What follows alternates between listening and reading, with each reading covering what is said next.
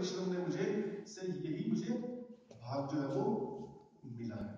अब जब हम नए नियम के अंदर देखते हैं कि मसीह ने दृष्टांत दिया था तो होगा कि तीन व्यक्तियों को उनकी योग्यता, उनकी सामर्थ्य के अनुसार से, उसने जिसकी अच्छी सामर्थ्य, उसको एक नहीं दिया उसने उसने उसको पाँच दिए।